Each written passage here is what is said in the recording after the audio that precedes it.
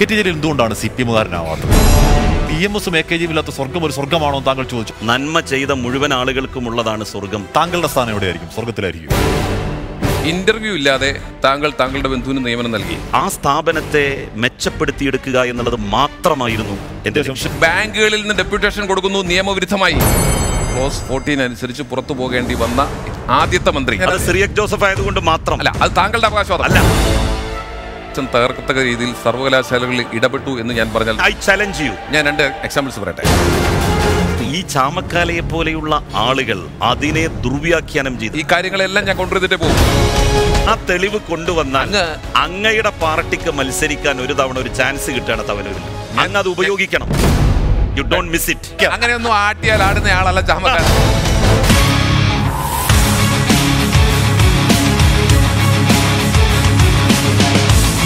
പ്രിയ പ്രേക്ഷകർക്ക് ജനകീയ കോടതിയിലേക്ക് സ്വാഗതം. കെ ടി ജലീൽ തുടരുന്നു. വാദങ്ങളും മറുവാദങ്ങളും തുടരുന്നു. പ്രിയ പ്രേക്ഷകർക്ക് സ്വാഗതം. ഇത് ജനകീയ കോടതി president by quality food products.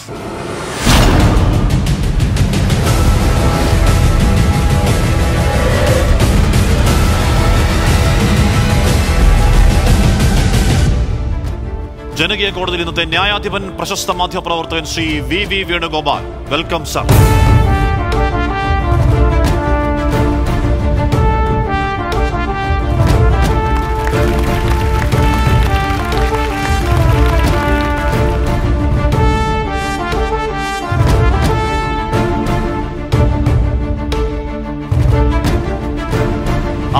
ആരാധകരും അനുയായികളും മലപ്പുറത്തിന്റെ സുൽത്താൻ എന്ന് സ്നേഹപൂർവം വിളിക്കുന്ന ഡോക്ടർ കെ ടി ജലീലാണ് ഇന്നത്തെ ജനകീയ കോടതിയുടെ അതിഥി. Welcome Shri K T Jaleel.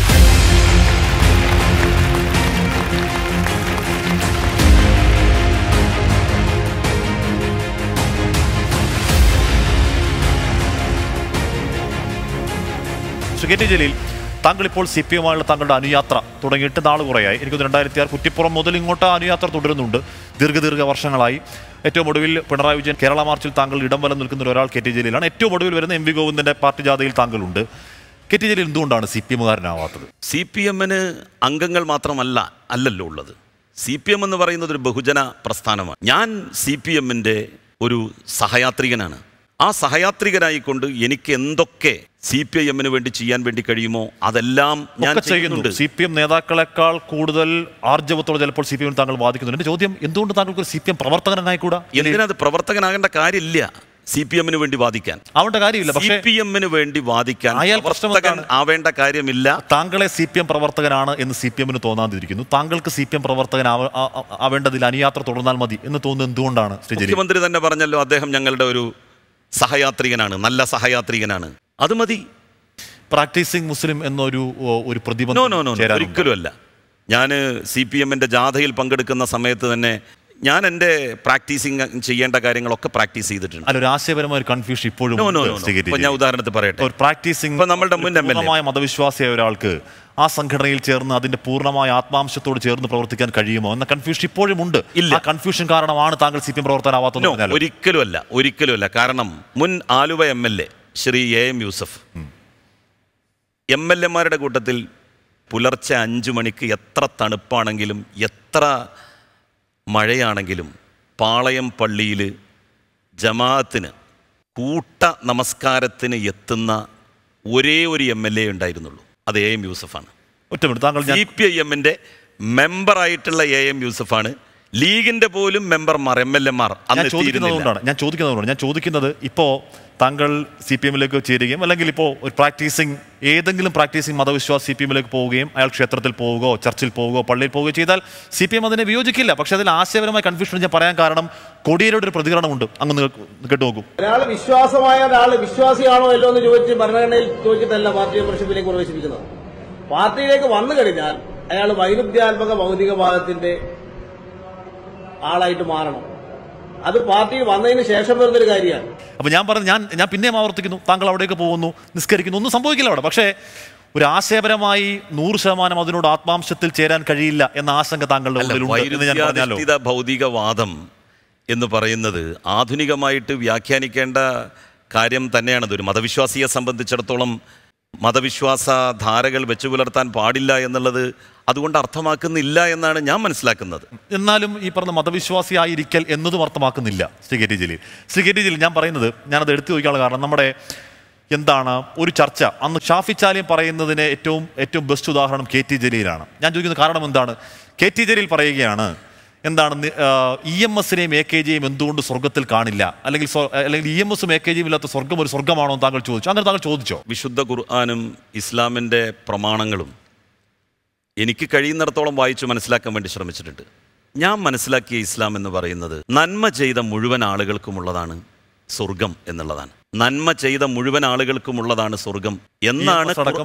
അന്തസത്ത. ആ- സമയത്ത് ഈ പറയുന്ന പ്രസ്താവനയിൽ വലിയ വിമർശനം ഉണ്ടായതാണ് ഞാൻ ഞാൻ അതൊക്കെ എന്റെ തെരഞ്ഞെടുപ്പ് സമയത്ത് എത്രമാത്രം ദുർവ്യാഖ്യാനം ചെയ്യപ്പെട്ടതാണ്. ഇ എം എസും എ കെ ജിയും സ്വർഗനരക വിശ്വാസങ്ങൾ വിശ്വാസമില്ലാത്തവരാണ്. അല്ല അപ്പൊ അവരെ അവരെ സ്വർഗത്തിൽ തരാമോ? അവർ അവർ വിശ്വാസമില്ലാത്തവരാണ്. നമ്മൾ നമ്മളുടെ ഒരു കൺസെപ്റ്റ് വെച്ചാണല്ലോ പറയുന്നത്. ഞാൻ പറയുന്നത് മദർ തെരേസ മഹാത്മാഗാന്ധി ഇവരൊക്കെ നന്മ ചെയ്ത് ജീവിതം മുഴുവൻ നന്മ ചെയ്ത് ജീവിച്ചവരാണ്. അതിനുള്ള ഒരു പ്രതിഫലവും അവർക്ക് ഈ ലോകത്ത് നിന്ന് കിട്ടിയിട്ടില്ല. എന്നെ ദീനിൽ നിന്ന് പുറത്താക്കുകയാണെന്നുണ്ടെങ്കിൽ പുറത്താക്കിക്കോട്ടെ. എന്റെ ഒരു പ്രശ്നം ഞാൻ നേരിടുന്ന ഒരു വലിയ പ്രശ്നം എന്താണെന്ന് വെച്ചാൽ ഒരേ സമയം എല്ലാ സംഘികളുടെയും ഹിസംഗികളുടെയും മുസംഗികളുടെയും കൃസംഗികളുടെയും എതിർപ്പ് ഒരേ സമയം ഏറ്റുവാങ്ങാൻ വിധിക്കപ്പെട്ട ഒരാളാണ് ഞാൻ എന്നുള്ളത് മുസംഗി എന്ന പ്രയോഗം ആദ്യം നടത്തുന്ന താങ്കളാണ്. വേറെ ആരും നടത്തി കേട്ടില്ല. അതെ മുസംഗി ഉണ്ട്. ഉണ്ട്. മുസംഗി എന്ന് പറയുന്നത് ഉണ്ട്. അതൊരു യാഥാർത്ഥ്യമാണ്. അത്രമാത്രം തീവ്രമായ വിഷലിപ്തമായിട്ടുള്ള ആശയങ്ങൾ വെച്ച് പുലർത്തുന്ന ആളുകൾ. അങ്ങനെ മുസ്ലിം ലീഗിലെ പേര് പറയിപ്പിക്കേണ്ട കാര്യമില്ല. മുസ്ലിം ലീഗിലെ സംഘി. എന്നർത്ഥം അതിനുണ്ടോ? അല്ലല്ല മുസ്ലിം ക്രിസ്ത്യൻ ഹിന്ദു ഇതിലൊക്കെ തന്നെ നല്ല വിശ്വാസികളാണ് മഹാഭൂരിപക്ഷം. എന്നാൽ ഹിസംഗികളുണ്ട് മുസംഗികളുണ്ട് ക്രിസംഗികളും. ക്രിസംഗികളും ഉണ്ട്. ഈ. മൂന്ന് വിഭാഗത്തിന്റെ ഈ ന്യൂനാൽ ന്യൂനപക്ഷമാണെങ്കിലും ഈ മൂന്ന് വിഭാഗത്തിന്റെയും എതിർപ്പ് ഒരേ സമയം ഏറ്റുവാങ്ങേണ്ടി വന്നിട്ടുള്ള ആളാണ് ഞാൻ. പക്ഷെ ഞാൻ പറയുന്ന കാര്യത്തിൽ നിന്ന് ഒരടി പോലും ഞാൻ പിറകോട്ട് പോയിട്ടില്ല. കഴിഞ്ഞ നിയമസഭാ തെരഞ്ഞെടുപ്പിൽ ഇത് വലിയ ചർച്ചയായിരുന്നു. മഹാത്മാഗാന്ധി സ്വർഗത്ത് കിടക്കുന്നു പറഞ്ഞു. മദർ തെരേസ സ്വർഗത്ത് കിടക്കുമെന്ന് പറഞ്ഞു. ഇ എം എസും എ കെ ജിയും പിന്നെ ഉള്ള സ്വർഗമാണ് എനിക്കിഷ്ടം എന്ന് ഞാൻ പറഞ്ഞു. നമുക്ക് അങ്ങനെ ആഗ്രഹിച്ചുകൂടെ? പക്ഷെ ഞാൻ അങ്ങനെ ആഗ്രഹിക്കുന്നതിൽ എന്ത് തെറ്റ്? ആർക്ക് എന്ത് നഷ്ടം? ഒരു നഷ്ടവുമില്ല. പക്ഷെ മാത്രമല്ല മനോഹരമായ ഭാവനയുമാണ് പക്ഷേ ഇ എം എസ് ആവട്ടെ എ കെ ജി ആവട്ടെ ഞാൻ നേരത്തെ അവരങ്ങനെ ആയിക്കോട്ടെ. ഞാൻ എന്റെ ഒരു ഇഷ്ടമാണല്ലോ പറഞ്ഞത്. അല്ല അതിന്റെ ബാക്കി ഞാൻ ചോദിച്ചോട്ടെ? ആ. താങ്കളുടെ സ്ഥാനം എവിടെയായിരിക്കും? സ്വർഗത്തിലായിരിക്കും ഞാൻ വിശ്വസിക്കുന്നത് സ്വർഗത്തിലാണെന്ന് തന്നെയാണ്. കാരണം എന്താന്ന് വെച്ചാൽ ഞാൻ അങ്ങനെ മഹാ അപരാധങ്ങളൊന്നും ചെയ്തിട്ടില്ല. അങ്ങനെ ചെയ്യാത്ത ജലീൽ സ്വർഗത്തിലായിരിക്കും. ഒരു സ്വർഗാവകാശി എന്ന് പറയുന്നത് ശരി മാത്രം ചെയ്യുന്ന ആളല്ല. തെറ്റുകളെക്കാൾ ഒരംശം നാൽപ്പത്തി ഒൻപത് ശതമാനം തെറ്റും അമ്പത്തി ഒന്ന് ശതമാനം ശരിയും ചെയ്താൽ അവനാണ് സ്വർഗാവകാശി. തെറ്റിനേക്കാൾ ഒരംശം നമ്മളിലെ നന്മ മുന്തി നിന്നാൽ നമ്മൾ സ്വർഗാവകാശിയാണ്. ആ നിലയ്ക്ക് നാൽപ്പത്തൊമ്പത് ശതമാനം തെറ്റ് ചെയ്ത് അമ്പത്തൊന്ന് ശതമാനം നന്മ ചെയ്യുന്നവരുടെ കൂട്ടത്തിലാണ് ഞാൻ എന്ന ഉത്തമ ബോധ്യം എനിക്കുണ്ട്. കെ ടി വാദങ്ങൾ പൂർത്തിയാകുന്നു ഇനി മറുവാദങ്ങളുടെ സമയമാണ്. കോൺഗ്രസിന്റെ മുതിർന്ന നേതാവ് ശ്രീ ജ്യോതികുമാർ ചാമക്കാല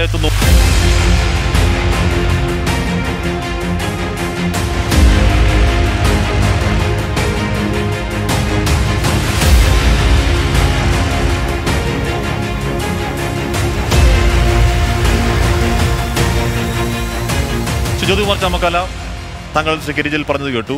സ്വപ്ന സുരേഷിന്റെ കാലത്തെ ആരോപണങ്ങൾ സ്വർണക്കടത്തുമായി ബന്ധപ്പെട്ട ആരോപണങ്ങൾ അന്വേഷണങ്ങൾ ഏറ്റവും ഒടുവിൽ ബന്ധു നിയമനത്തിൽ വരെ തെറ്റ് ചെയ്തിട്ടില്ല എന്ന് ആത്മാർത്ഥമായി വിശ്വസിക്കുന്നു കൺവിക്ഷനോട് പറയുകയും ചെയ്യുന്നു. എന്താണ് മറുപടി? ഇടതുപക്ഷത്തിലെ നേതാക്കന്മാരെ സംബന്ധിച്ച് ആർക്കൊക്കെ എതിരെയോ ആരോപണം വന്നിട്ടുണ്ടോ? അവർക്ക് ആർക്കുമെതിരെ ഒരു നടപടിയും കേന്ദ്ര ഏജൻസികളുടെ ഭാഗത്തു നിന്ന് ഉണ്ടാകുന്നില്ല എന്നുള്ളത് ദുരൂഹമാണ്. അത് ഒത്തുതീർപ്പിന്റെ ഭാഗമാണ് എന്ന ഞങ്ങളുടെ പ്രഖ്യാപിത നിലപാടിൽ ഞങ്ങൾ ഇപ്പോഴും ഉറച്ചു നിൽക്കുന്നു. അതിനപ്പുറത്തേക്ക് ചിന്തിക്കാൻ ഒരു കാരണവും ഇപ്പോൾ കാണാനില്ല. എനിക്ക് താങ്കളോട് ചോദിക്കാനുള്ളത് ബന്ധു നിയമനവുമായി ബന്ധപ്പെട്ട് താങ്കളുടെ ബന്ധുവായ കെ ടി അദീബ് അദ്ദേഹത്തെ കൊണ്ടുവരുമ്പോൾ ആ പദവിക്കുണ്ടായിരുന്ന ക്വാളിഫിക്കേഷൻ താങ്കൾ ചേഞ്ച് വരുത്തി. ആ ക്വാളിഫിക്കേഷനെ സംബന്ധിച്ച് തീരുമാനം നേരത്തെ എടുത്തിട്ടുള്ളത് BTech with M B A ആണ് എന്നുള്ളത് ക്യാബിനറ്റായിരുന്നു തീരുമാനിച്ചിരുന്നത്. എന്നാൽ താങ്കൾ ഇടപെട്ട് മന്ത്രി എന്ന നിലയിൽ അത് P G D C A with M B A എന്ന് മാറ്റി. ഒന്ന്. രണ്ടാമത്തേത് ഇന്റർവ്യൂ ഇല്ലാതെ താങ്കൾ താങ്കളുടെ ബന്ധുവിന് നിയമനം നൽകി. മൂന്നാമത്തേത് താങ്കൾ പറയുന്നത് ഡെപ്യൂട്ടേഷൻ ആണെന്നാണ്. ഇത്തരത്തിൽ ഒരു ബാങ്കിൽ നിന്നും കേരളത്തിലെ സർക്കാരിലേക്ക് ഡെപ്യൂട്ടേഷനിൽ വന്നിട്ടുള്ള ഒരാളെ താങ്കൾക്കൊന്ന് ചൂണ്ടിക്കാണിക്കാമോ? നാലാമത്തേത് താങ്കൾ പറഞ്ഞത് അവിടെ ലഭിച്ചിരുന്ന ശമ്പളത്തേക്കാൾ കുറവാണ് ശമ്പളം ലഭിക്കുന്നതെന്നാണ്. എന്നാൽ ഇവിടെ വന്നു കഴിഞ്ഞ ഉടനെ തനിക്ക് ശമ്പളം കൂട്ടിക്കിട്ടണം എന്നാവശ്യപ്പെട്ടുകൊണ്ട് അദ്ദേഹം കൊടുത്തിട്ടുള്ള കത്തുൾപ്പെടെ കോടതിയുടെ പരിഗണനയിൽ വന്നിട്ടുള്ളതാണ്. അപ്പോൾ താങ്കൾ ഈ പറഞ്ഞ നാല് കാര്യങ്ങളെ സംബന്ധിച്ചും എനിക്ക് വിരുദ്ധ അഭിപ്രായമാണുള്ളത്. അതിനെ സംബന്ധിച്ച് അതിന്റെ കൂടി പ്രതിഫലനമാണ് സ്വാഭാവികമായും ലോകായുക്തയുടെ ഭാഗത്ത് നിന്ന് വന്നുള്ള ജഡ്ജ്മെന്റ് ഒന്ന്. അല്ല ലോകായുക്തയുടെ കാര്യത്തിൽ ഗൂഢാലോചന ഉണ്ടായെന്ന് ആരോപിക്കുകയാണ് ബോധ്യത്തിൽ ഇപ്പോൾ പറഞ്ഞ ഈ നാല് കാര്യങ്ങളെ സംബന്ധിച്ച്. അദ്ദേഹം ഒന്ന് വ്യക്തത വരുത്തിയാൽ ഞാൻ ലോകായുക്തയെ സംബന്ധിച്ച് അദ്ദേഹത്തിന് ധനകാര്യ സ്ഥാപനങ്ങളുടെ തലപ്പത്ത് വരുന്നവരിൽ മഹാഭൂരിഭാഗവും ബിടെക്കുകാരാണിപ്പോൾ അതുകൊണ്ട് ഈ എം ബി എ ഒഴിവാക്കുകയല്ല ചെയ്തത്? അതിന്റെ കൂടെ ഒരു അഡീഷണൽ ക്വാളിഫിക്കേഷൻ കൂട്ടിച്ചേർക്കുക മാത്രമാണ് ചെയ്തത്. B tech with P G D B A എന്ന് പറയുന്നതും കൂടി നേരത്തെ ഉണ്ടായിരുന്ന ക്വാളിഫിക്കേഷന്റെ കൂടെ ചേർക്കുകയാണ് ചെയ്തത്. അല്ലാതെ അത് വേണ്ട എന്ന് വെച്ച് വ്യക്തമാണ്? അപ്പോൾ എന്റെ ആരോപണം കൂടുതൽ ഗൗരവമാകാണ്. P G D B I കൂടി ചേർക്കുകയും P G D B I ഉള്ള ഏക ഉദ്യോഗാർത്ഥി താങ്കളുടെ ബന്ധുവാവുകയും അദ്ദേഹത്തെ തന്നെ സെലക്ട് ചെയ്യപ്പെടുകയും ചെയ്യുന്നു എന്നുള്ളത് മറ്റൊരു ഭാഗം. ഇനി താങ്കൾ പറഞ്ഞു ബാങ്കിങ് മേഖലയിലുള്ളവരെയാണ് എടുത്തതെന്ന് ആ ക്വാളിഫിക്കേഷൻ ആരാണോ ഇൻസിസ്റ്റ് ചെയ്തത് അതേ ബോഡി വേണം ചേഞ്ച് ഉണ്ടാക്കാൻ സ്വാഭാവികമായിട്ടും. അങ്ങനെയാണെങ്കിൽ ക്യാബിനറ്റ് ആയിരുന്നു ഒന്ന്. രണ്ടാമത്തേത് താങ്കൾ ഇപ്പോൾ പറഞ്ഞ വളരെ ഗൗരവമുള്ള ഒരു പിന്നെ വാദഗതി താങ്കൾക്കെതിരായി തന്നെ വരികയാണ്. അപ്പോൾ താങ്കൾ അഡീഷണൽ ക്വാളിഫിക്കേഷൻ ഒന്നുകൂടി ചേർക്കുന്നു. ആ ക്വാളിഫിക്കേഷനുള്ള ഏക ആപ്ലിക്കന്റ് താങ്കളുടെ ബന്ധുവാകുന്നു. ആ ആപ്ലിക്കന്റിന് തന്നെ ഇന്റർവ്യൂ പോലും ഇല്ലാതെ നിയമനം നൽകുന്നു.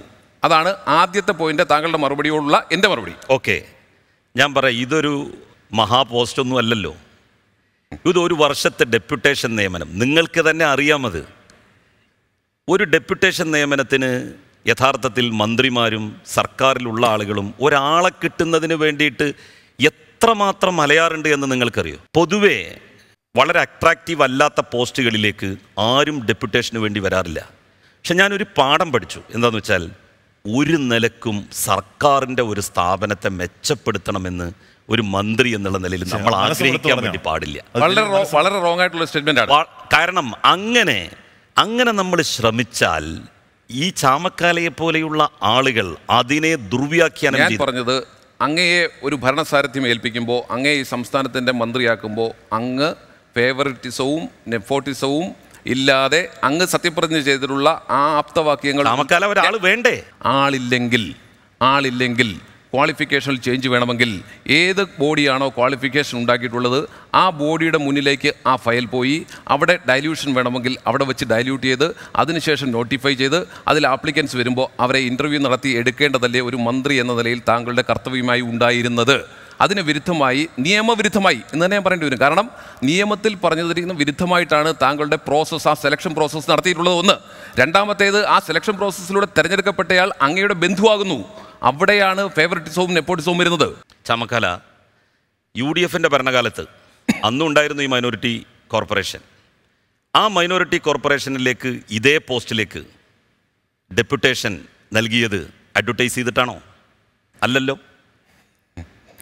ആണോ? ഞാൻ അല്ല താങ്കളുടെ ബന്ധുവാകുന്ന പ്രശ്നമാണ്. ഞാൻ താങ്കളുടെ ബന്ധുവാകുന്നതാണ് ഞാൻ- അവിടെ. ഞാൻ രണ്ട് വിഷയം. അവിടെ രണ്ട് വിഷയം. ഞാൻ ഒന്ന് ക്വാളിഫിക്കേഷൻ ക്വാളിഫിക്കേഷൻ രണ്ട് ബാങ്കുകളിൽ നിന്ന് ഡെപ്യൂട്ടേഷൻ കൊടുക്കുന്നു നിയമവിരുദ്ധമായി. ആ രണ്ട് കാര്യങ്ങൾ അവിടെ വീണ്ടും ഇറൈസ് ചെയ്യപ്പെടും. അല്ല ഞാൻ പറയട്ടെ. അന്ന് അന്നും ഇതേ പോസ്റ്റ് തന്നെ ആയിരുന്നല്ലോ ഒരു അഡ്വർടൈസ്മെന്റും ചെയ്യാതെ. എവിടുന്ന ഡെപ്യൂട്ടേഷൻ അല്ല എവിടുന്നാ കൊടുത്തതെന്നറിയോ? അറിയോ വനിതാ വികസന കോർപ്പറേഷനിൽ. നിൽക്ക്. വനിതാ വികസന കോർപ്പറേഷനിൽ എങ്ങനെ പി എസ് സി മുഖേന നിയമിതനായിട്ടുള്ള ആളെ അല്ല നിയമിച്ചത്. വനിതാ വികസന കോർപ്പറേഷനിൽ മാറി മാറി വരുന്ന സർക്കാരുകളുടെ കാലത്ത് രാഷ്ട്രീയ സ്വാധീനത്തിൽ കയറുകയും എന്നിട്ട് അഞ്ചു വർഷവും പത്തു വർഷവും കഴിഞ്ഞ് സ്ഥിരമാക്കപ്പെടുകയും ചെയ്തിട്ടുള്ള ഒരാൾ യു ഡി. എഫിന്റെ. ഭരണകാലത്ത്. യു ഡി എഫിന്റെ ഭരണകാലത്തായാലും സ്ഥിരപ്പെടുത്തിയ ഒരാളെ സ്ഥിരപ്പെടുത്തിയ സർക്കാർ സർവീസിൽ സ്ഥിരപ്പെടുത്തിയ ഒരാളെ ഡെപ്യൂട്ടേഷനിൽ വെക്കുന്നത് പോലെയാണോ താങ്കളുടെ നിയമനം ഉണ്ടായത് ഒന്ന്. രണ്ടാമത്തേത് ഞാൻ വീണ്ടും ആവർത്തിക്കുന്നു. ആ ക്വാളിഫിക്കേഷനിൽ ഡയലൂഷൻ വരുത്താൻ താങ്കൾക്ക് വ്യക്തിപരമായി മന്ത്രി എന്ന നിലയിൽ അവകാശമുണ്ടായിരുന്നില്ല. അങ്ങനെ ഇരിക്കെ അങ്ങനെ ഇരിക്കെ താങ്കൾ ചെയ്തത് തെറ്റാണെന്ന് ഞാൻ മാത്രമല്ല സുപ്രീം കോടതി വരെ സംബന്ധിച്ചിരിക്കുന്ന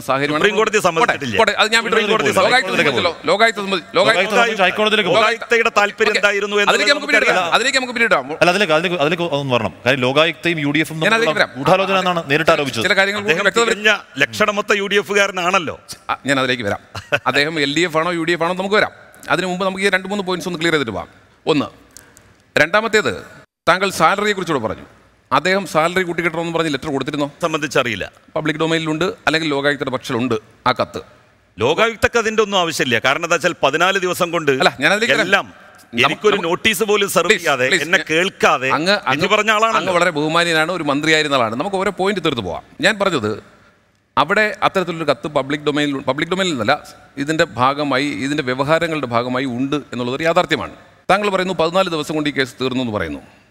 ഈ കേസ് രജിസ്റ്റർ ചെയ്യപ്പെടുന്നത് രണ്ടായിരത്തി പത്തൊൻപതിലാണ് ഈ കേസ് തീരുന്നത് രണ്ടായിരത്തി ഇരുപത്തി ഒന്ന് മെയ്യിലാണ് അല്ലേ? അപ്പോൾ സ്വാഭാവികമായും താങ്കൾ പറയുമ്പോൾ ഒന്നാം തീയതി തുടങ്ങി പതിനാലാം തീയതി തീർന്നു എന്നല്ലോ രണ്ടായിരത്തി പത്തൊമ്പതിൽ തുടങ്ങി രണ്ടായിരത്തി ഇരുപത്തി ഒന്നിൽ ആ കേസ് തീരുന്നു. ഇനി താങ്കൾക്ക് വക്കീലില്ല എന്ന് പറയുന്നു. താങ്കൾ എന്തുകൊണ്ടാണ് ഒരു വക്കീലിനെ വെക്കാതിരുന്നത്? എനിക്ക് നോട്ടീസ് കിട്ടണ്ടേ? ഞാൻ പറയാം. കേസ് ഞാൻ ഞാൻ പറ- ഞാൻ പറയട്ടെ ഞാൻ പറയട്ടെ. എനിക്കൊരു നോട്ടീസ് കിട്ടണ്ടേ? ഞാൻ പറയട്ടെ. താങ്കൾക്ക് നോട്ടീസ് കിട്ടിയിട്ടുണ്ട്. നോ ഒന്നാം പ്രതി സർക്കാരാണ്. രണ്ടാം പ്രതി താങ്കളാണ്. മൂന്നാം പ്രതി ആ കോർപ്പറേഷനാണ്. നാലാം പ്രതി ആദിബാണ്. താങ്കളുടെയും താ- സർക്കാരിന്റെയും നോട്ടീസ് കൈപ്പറ്റിയിട്ടുള്ളത് ഗവൺമെന്റ് പ്ലീഡറാണ് താങ്കൾ മന്ത്രി താങ്കൾ ഒരു അഡ്വക്കേറ്റിനെ അവിടെ പിന്നെ ഏൽപ്പിച്ചിരുന്നില്ല ചുമതല. മറിച്ച് താങ്കൾക്ക് വേണ്ടി സർക്കാർ അഭിഭാഷക പാരിപ്പള്ളി കൃഷ്ണകുമാരിയാണ് ഹാജരായിട്ടുള്ളത്. ഓക്കെ അദീപിന് കിട്ടിയിട്ടില്ല കേട്ടോ. നോട്ടീസ് കിട്ടിയിട്ടില്ല. അത് നമ്മളെ സംബന്ധിച്ച് ഇപ്പൊ നിങ്ങൾ പറഞ്ഞു കിട്ടിയെന്ന്. കിട്ടിയിട്ടില്ല. അദീപിന് കിട്ടിയല്ലോ എനിക്ക് അറിയേണ്ട കാര്യമില്ല. കിട്ടിയിട്ടില്ല. അല്ല ആയിക്കോട്ടെ അത് അദ്ദേഹം കിട്ടിയിട്ടില്ല. അത് അദ്ദേഹമാണ് ചലഞ്ച് ചെയ്യേണ്ടത് താങ്കളല്ല. അല്ല എനിക്ക് കിട്ടിയിട്ടില്ല. അല്ല ഞാൻ പറയാം എനിക്ക് കിട്ടാത്ത കാര്യം എനിക്ക് പറയാമല്ലോ ലോകത്ത് എവിടെയെങ്കിലും. ഒരാളെ തൂക്കിലേറ്റുമ്പോ ആ തൂക്കിലേറ്റപ്പെടുന്ന വ്യക്തിയോട് നിങ്ങൾക്ക് എന്തെങ്കിലും പറയാനുണ്ടോ എന്ന് അങ്ങ് ഡൈവേർട്ട് ചെയ്യണ്ട ഞാൻ ഞാൻ അതിലേക്ക് ഞാൻ അതിലേക്കാണ് വരുന്നത്. ഞാൻ ആ കേസിനെ സംബന്ധിച്ച് നന്നായി സ്റ്റഡി ചെയ്തിട്ടുള്ള ഒരാളാണ്. ഞാൻ അഡ്വക്കേറ്റ് ഒന്നുമല്ല. അല്ല. പക്ഷെ ഞാൻ നന്നായി സ്റ്റഡി ചെയ്തു. മെയ് ആറാം തീയതിക്ക് മുമ്പ് അതിന്റെ ഫൈനൽ വിധി വരുമായിരുന്നു. കാളീശ്വരം രാജിന്റെ ഇടപെടൽ ഇല്ലായിരുന്നു എങ്കിൽ നിങ്ങൾ പൊട്ടും എന്ന് പ്രതീക്ഷിച്ച ബോംബ് മൂന്ന് ദിവസം കഴിഞ്ഞാണ് പൊട്ടിയത്. താങ്കൾ കാളീശ്വരൻ രാജിനെ കുറിച്ച് ഇപ്പൊ രണ്ടാമതാണ് റെഫർ ചെയ്യുന്നത്. ആ. കോർപ്പറേഷന് വേണ്ടി കാളീശ്വരൻ രാജാണ് ഹാജരായത്. അതെ. കാളീശ്വരൻ രാജ് സുപ്രീം കോടതിയിൽ ഒരു കേസുമായി നിൽക്കുമ്പോൾ അദ്ദേഹം നിയമാനുസൃതമല്ല അദ്ദേഹത്തിന്റെ വക്കീലാരെങ്കിലും ഹാജരായിട്ട് ഇതൊന്ന് മാറ്റി വെക്കണമെന്ന് പറഞ്ഞത്. അദ്ദേഹം അവിടെ നിന്ന് ശരിയാണ്. ഞാൻ പറയട്ടെ അതുകൊണ്ട്. പ്ലീസ് പ്ലീസ് അദ്ദേഹം അതുകൊണ്ട് അദ്ദേഹം ഒരു മെയിൽ ചെയ്തു. ബോംബ് ചീറ്റിപ്പോയി അങ്ങനെ അതൊക്കെ അതൊക്കെ കേട്ടോ. അതിന്റെ പിന്നിലുള്ള പിന്നാമ്പുറ കഥകൾ എന്താണെന്ന് എനിക്കറിയാം. ഞാൻ എന്തായാലും ഇവിടെ ഈ തരുണത്തിൽ ഏതായാലും പൊട്ടിക്കാൻ പറ്റിയില്ല കേക്ക്. വിചാരിച്ചതുപോലെ. അതിൽ താങ്കൾ വിജയിച്ചു. അതിൽ താങ്കൾ വിജയിച്ചു. എന്നിട്ടും താങ്കൾക്ക് ഒരു പക്ഷേ കേരളത്തിന്റെ ചരിത്രത്തിൽ ആദ്യമായി ലോകായുക്തയുടെ ആക്ടിന്റെ ക്ലോസ് ഫോർട്ടീൻ അനുസരിച്ച് പുറത്തു പോകേണ്ടി വന്ന ആദ്യത്തെ മന്ത്രി താങ്കളാണ്. ഏതായാലും ഞാൻ അത് സിറിയക് ജോസഫ് ആയതുകൊണ്ട് മാത്രം. അല്ല അത് താങ്കളുടെ അവകാശം സിറിയക് ജോസഫ് അത് താങ്കളുടെ. അവകാശം അത് താങ്കളുടെ അവകാശം അല്ല ഞാൻ പറഞ്ഞിട്ടില്ല ആയിരത്തി തൊള്ളായിരത്തി തൊണ്ണൂറ്റി ഒന്നിൽ യു ഡി എഫിന്റെ ഭരണകാലത്ത് അഡീഷണൽ അഡ്വക്കേറ്റ് ജനറൽ ആവുകയും ഞാൻ അതിലേക്ക് വരാമെന്നേ പിന്നീട് ഞാൻ ഒളിച്ചോടില്ല. താങ്കൾ പറഞ്ഞ ഈ കാര്യങ്ങളെല്ലാം ഞാൻ കൊണ്ടുവരുന്നിട്ട് പോകും. അപ്പോൾ താങ്കൾ പറഞ്ഞത് കാളീശ്വരൻ രാജ അവിടെ ഒരു മെയിൽ ചെയ്തു. ആ മെയിലിന്റെ ബേസിസിൽ അദ്ദേഹത്തിന് സമയം നീട്ടിക്കൊടുത്തു. അല്ലേ? പാരിപ്പള്ളി കൃഷ്ണകുമാരി താങ്കൾക്ക് വേണ്ടി തുടക്കം മുതൽ ഗവൺമെന്റ് പ്രീഡർ എന്ന നിലയിൽ സർക്കാരിന് വേണ്ടി ഒന്നാം പ്രതിയായ സർക്കാരിന് വേണ്ടി സർക്കാരിന് വേണ്ടിയിട്ട്. എനിക്ക് വേണ്ടിയിട്ടല്ല. ഞാൻ പറയട്ടെ ഒന്നാം പ്രതിയായ സർക്കാരിന് വേണ്ടിയും താങ്കൾക്ക് വേണ്ടിയും അല്ല, എനിക്ക് വേണ്ടിയിട്ടല്ല. താങ്കൾ താങ്കൾക്ക് വേണ്ടി. താങ്കൾക്ക് വേണ്ടിയ താങ്കൾ എന്തുകൊണ്ട് ഒരാളെ അവിടെ നിയോഗിച്ചില്ല? എനിക്ക് നോട്ടീസ് കിട്ടണ്ടേ? താങ്കൾക്ക് അല്ല തുടക്കത്തിൽ എത്രയോ തവണ എനിക്ക് എനിക്ക് ഇത് സംബന്ധമായി ഒരു നോട്ടീസും കിട്ടിയിട്ടില്ല. ആ- നോട്ടീസ് ഒന്നും കിട്ടിയിട്ടില്ല. ഇല്ല. അത് തെറ്റ ഇൻഡിവിജ്വൽ കപ്പാസിറ്റിയിൽ. ഇംപ്ലിയേഡ് ചെയ്തിട്ടുണ്ടോ. അതിൽ ഇൻഡിവിജ്വൽ കപ്പാസിറ്റിയിൽ താങ്കളെ കക്ഷിയാക്കിയിട്ടുണ്ടോ? മന്ത്രി ഞാൻ ഞാൻ ഇതിൽ പ്രതി ചേർക്കപ്പെട്ടു. ഒരു ഒരു പ്രതി ചേർക്കപ്പെട്ടാൽ ആ പ്രതിക്ക് ഒരു നോട്ടീസ് സെർവ് ചെയ്യുമല്ലോ. അത് എനിക്ക് തന്നെ ചെയ്യണ്ടേ ബഹുമാനപ്പെട്ട- ബഹുമാനപ്പെട്ട കോടതി. ഒരു അങ്ങനെ ഒരു നോട്ടീസേ സെർവ് ചെയ്തിട്ടില്ല എന്നെ കേട്ടിട്ടില്ല ഏകപക്ഷീയമായിട്ട് പരാതിക്കാരന്റെ വാദം കേട്ട് ഈ പതിനാല് ദിവസത്തിനുള്ളിൽ ആറാം തീയതി തെരഞ്ഞെടുപ്പ് അഞ്ചാം തീയതി വിധിക്കണം എന്നുള്ള ദുരുദ്ദേശത്തിൽ ചെയ്ത ഗൂഢാലോചന എന്നാണ് പറയുന്നത്. ഞാൻ ഞാൻ- അല്ല അത് അതൊക്കെ അതൊക്കെ അദ്ദേഹം പറയും. കൗണ്ടർ ചെയ്യാൻ പറയാം. വരട്ടെ.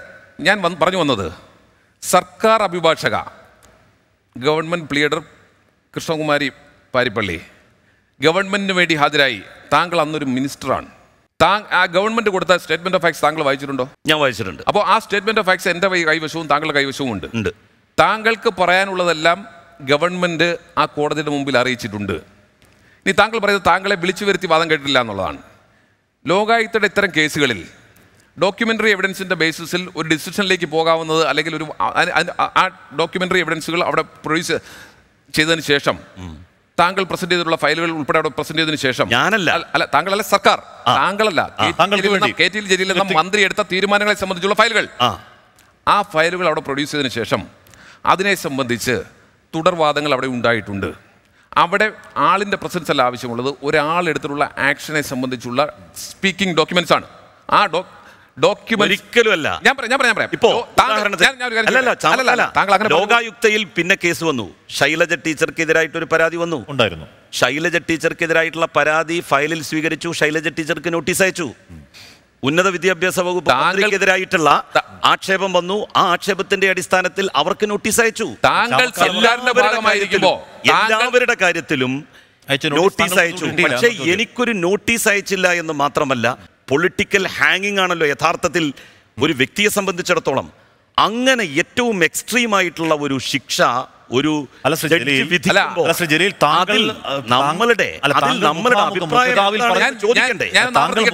പറയുന്നില്ലെങ്കിലും താങ്കളുടെ വാദം സർക്കാരിന്റെ വാദം ഒക്കെ കോടതി സമക്ഷം ഉണ്ട്.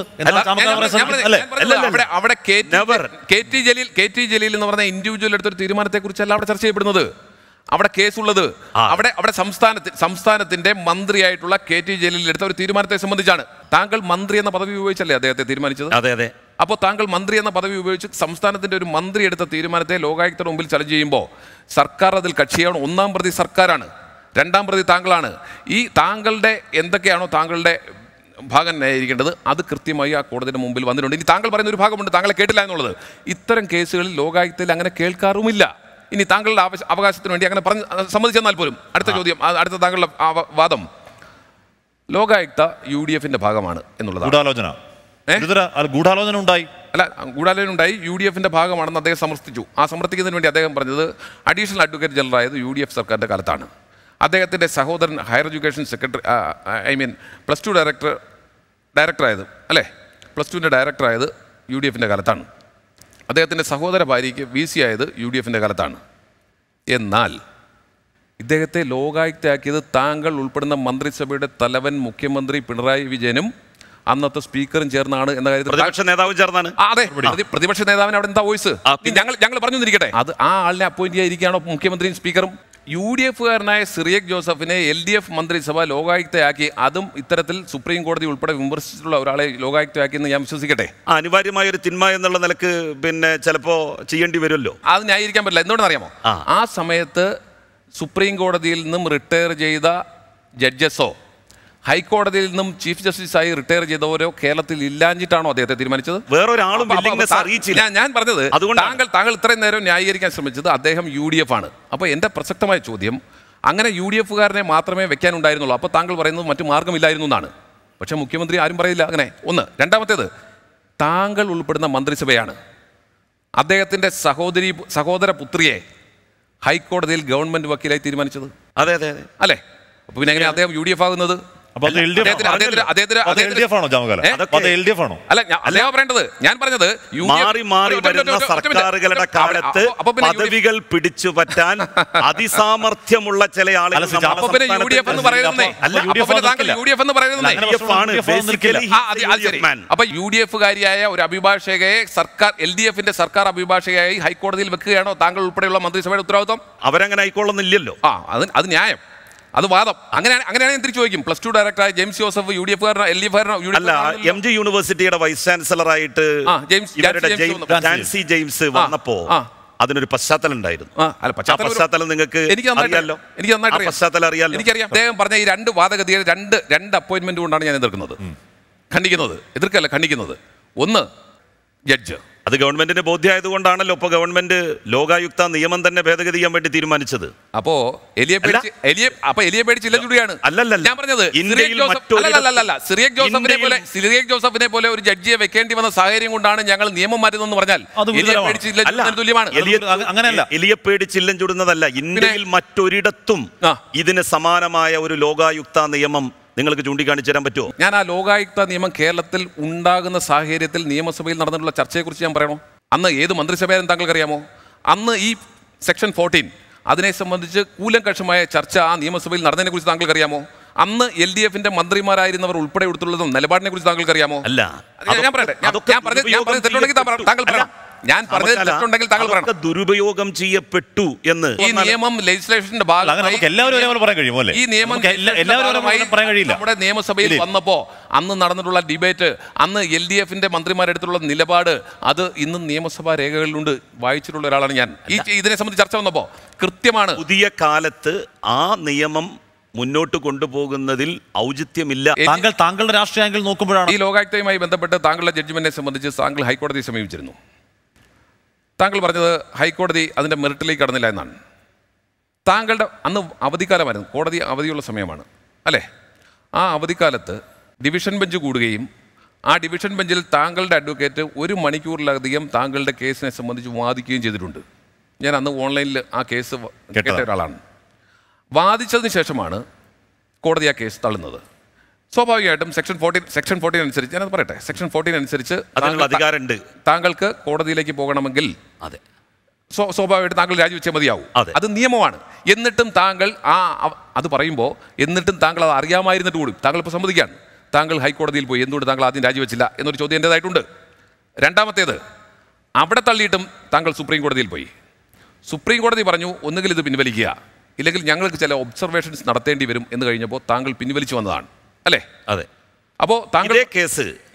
ഇതേ കേസ് ഹൈക്കോടതി തള്ളിയതാണ്. എനിക്ക് രണ്ട് ചോദ്യം എനിക്ക് ഗവർണർ തള്ളിയതാണ്. എനിക്ക് രണ്ട് ചോദ്യം. അതും കൂടി മനസ്സിലാക്കാം. എനിക്ക് രണ്ട് ചോദ്യം. സെക്ഷൻ ഫോർട്ടീൻ അനുസരിച്ച് ഹൈക്കോടതിയിലേക്ക് പോകാൻ ഹൈക്കോടതിയിലേക്ക് പോകാൻ പ്രൊവിഷൻ ഇല്ല. അല്ല ഏത് പോസ്റ്റാണെന്ന് വഹിക്കുന്ന ആ പോസ്റ്റ് ഒഴിഞ്ഞതിന് ശേഷം മാത്രമേ കോടതി സമീപിക്കാനുള്ള അവസരമുള്ളൂ എന്നിരിക്കെ താങ്കൾക്ക് അധികാരം അധികാരമോഹം കൊണ്ടാണോ താങ്കൾ ആ രാജി വെക്കാതെ തന്നെ കോടതിയിൽ പോയത്? ഒന്ന് ഒന്ന്. രാജി ഒഴിവാക്കാനായിരുന്നു? നാല് ദിവസം. രാജി ഒഴിവാക്കാൻ ആയിക്കോട്ടെ. എത്ര ദിവസമാകട്ടെ?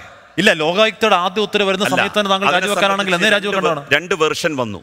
ഇപ്പോൾ നിങ്ങൾ പറയുന്നത് പോലെ തന്നെ ലോകായുക്ത ഒരു വിധി പുറപ്പെടുവിച്ചാൽ അതിനെതിരായിട്ട് ഹൈക്കോടതിയെ സമീപിക്കാം അപ്ലറ്റ് അതോറിറ്റി എന്നുള്ള നിലയ്ക്ക് അതിനെ ചലഞ്ച് ചെയ്തുകൊണ്ട് എന്നുള്ള ഒരു അഭിപ്രായം വന്നതിന്റെ കൂടി അടിസ്ഥാനത്തിലാണ് അന്ന് അങ്ങനെ ചെയ്തത്. അപ്പോൾ നിങ്ങൾ മനസ്സിലാക്കേണ്ട ഒരു കാര്യം ഇന്ത്യയുടെ ചീഫ് ജസ്റ്റിസിന് പോലും ഇല്ലാത്ത ഒരധികാരം. ഒരു മന്ത്രിയെ ഒരു ജഡ്ജിയുടെ സ്വ ഇഷ്ടപ്രകാരം ഒരു വിധി പറഞ്ഞ് പുറത്താക്കുക. അയാൾക്ക് ഒരു അപ്ലറ്റ് അതോറിറ്റിയെ സമീപിക്കണമെങ്കിൽ രാജിവെച്ചതിന് ശേഷമല്ലാതെ നിവൃത്തിയില്ല എന്നുള്ള ഒരു നിയമം അത് നിലനിൽക്കാൻ അർഹതപ്പെട്ട നിയമമാണോ? അങ്ങനെയാണെങ്കിൽ നിങ്ങൾ ഇപ്പോൾ കൊണ്ടുവരുന്ന നിയമനിർമ്മാണത്തിൽ ഈ സെക്ഷൻ ഫോർട്ടീൻ എടുത്തു കളയുന്നതിന് പകരം ഒരു അപ്ലേറ്റ് അതോറിറ്റിയെ എന്താ ഒരു അപ്ലേറ്റ് അതോറിറ്റിയെ കുറിച്ച് ആലോചിക്കാൻ എന്താ പകരം ഈ സെക്ഷൻ ഫോർട്ടീൻ വിഡ്രോ ചെയ്യണം എന്നുള്ള തീരുമാനത്തിലേക്ക് എന്തുകൊണ്ടാണ് പോകുന്നത്? ഞാൻ പറയുന്നത് ഇത്തരത്തിൽ അങ്ങനെ കൂട്ടുപിടിക്കരുത്. ഞാനൊന്ന് പറഞ്ഞോട്ടെ പ്ലീസ്. അപ്പീൽ കൊടുക്കാൻ അവസരമില്ല എന്നിരിക്കട്ടെ. അതിനൊരു പ്രൊവിഷൻ കൊണ്ടുവരില്ല നിയമത്തിൽ വേണ്ടത്? അതിനപ്പുറത്തേക്ക് ആ ക്ലോസ് തന്നെ എടുത്തു മാറ്റുന്നതാണോ ജനാധിപത്യം? ചോദ്യമാണ് ജലീൽ. മറ്റു സംസ്ഥാനങ്ങളിലെ മുഴുവൻ ലോകായുക്ത നിയമങ്ങളും നോക്കി. ഇന്ത്യ ഗവൺമെന്റിന്റെ ഇതുമായി ബന്ധപ്പെട്ട നിയമങ്ങൾ പരിശോധിച്ചു. അവിടെ എവിടെയും അങ്ങനെ ഒരു അപ്ലറ്റ് അതോറിറ്റി ഇല്ല. നമ്മുടെ അഴിമതി- കേരളത്തിൽ മാത്രം വേണം എന്ന് നമ്മൾ എന്തിനാണ് ശടിക്കുന്നത് അങ്ങനെയല്ല. നമ്മുടെ സംസ്ഥാനത്ത് ഇത്തരത്തിൽ അഴിമതിക്കെതിരായി ശക്തമായ ഒരു നിയമം ഉണ്ടെന്നിരിക്കെ. ആ നിയമം മറ്റ് സംസ്ഥാനങ്ങളിൽ ഇല്ലാത്തതുകൊണ്ട് ഇവിടെയും വേണ്ട എന്ന് തീരുമാനിക്കുന്നതാണോ? ശരി. താങ്കൾ സൂചിപ്പിച്ചതുപോലെ അതിന് എന്തെങ്കിലും ഹാൻഡിക്യാപ്പ് ഉണ്ടെങ്കിൽ അത് പരിഹരിക്കുന്നതിന് വേണ്ടി അപ്പലേറ്റ് അതോറിറ്റി ഉണ്ടാക്കുന്നതാണോ? ശരി. ഇന്ത്യ മഹാരാജ്യത്ത് അഴിമതി ഏറ്റവും കുറഞ്ഞ സംസ്ഥാനം കേരളമാണ് എന്ന് ഞങ്ങളല്ലല്ലോ പറഞ്ഞത്. ശരി താങ്കൾ നിഷ്പക്ഷമായും നീതിപൂർവമായും സംസാരിച്ചേ.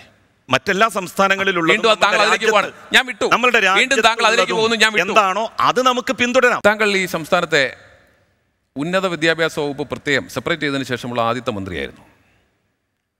താങ്കൾ സർവകലാശാലയുടെ സ്വയംഭരണ അവകാശത്തെ സംബന്ധിച്ച് നല്ല ബോധ്യമുള്ള ആളാണ്. താങ്കൾ ഒരു അധ്യാപകൻ കൂടിയാണ്. എന്നിട്ടും താങ്കൾ സ്വയംഭരണ അവകാശം തകർക്കത്തക്ക രീതിയിൽ സർവകലാശാലകളിൽ ഇടപെട്ടു എന്ന് ഞാൻ പറഞ്ഞാൽ താങ്കൾ നിഷേധിക്കുമോ? തീർച്ചയായിട്ടും നിഷേധിക്കും. അങ്ങനെ ഒരു ഇടപെടലും ഒരു യൂണിവേഴ്സിറ്റിയിലും നടത്തിയിട്ടില്ല. ഞാൻ രണ്ട് എക്സാമ്പിൾസ് പറയട്ടെ? ആ. ഒന്ന് ടി കെ എം എഞ്ചിനീയറിംഗ് കോളേജിൽ ഒരു കുട്ടി. താങ്കൾക്ക് ചിരി വരുന്നുണ്ട്. താങ്കൾക്ക് ഈ വിഷയം അറിയാം. ഞാൻ അതിലേക്ക് വരാം. ഒരു കുട്ടിയെ സംബന്ധിച്ച്. സ്വാഭാവികമായി നമ്മളൊരു കോഴ്സിന് ചേർന്ന് കഴിഞ്ഞാൽ ആ കോഴ്സിന് ഒരു സിലബസ് ഉണ്ടാകും ഒരു സ്കീം ഉണ്ടാകും ഒരു റെഗുലേഷൻ ഉണ്ടാകും. അതൊക്കെ ഉണ്ടാക്കുന്നത് അതിന്റെ അക്കാദമിക് ബോഡി ബോഡികളാണ്. ഇവിടെ ഒരു കുട്ടി റീവാലുവേഷൻ അപേ അപേക്ഷിക്കുന്നു. അവിടെ ചേഞ്ച് ഉണ്ടാകുന്നില്ല. അല്ലെങ്കിൽ പിന്നെ ഏതാ അത് അത് വിസിബിളായി വരത്തക്ക രീതിയിലുള്ള ചേഞ്ച് ഉണ്ടാകുന്നില്ല.